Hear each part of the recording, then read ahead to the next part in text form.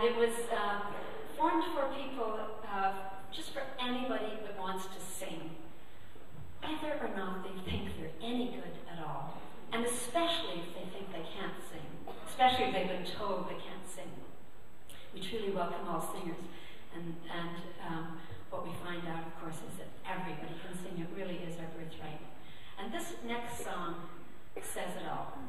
It's a, um, a, a collaboration across the centuries between Mozart, who wrote the music, and Tina Filipino, a fellow song leader, choir director from up in the Comox Valley. I think she may even be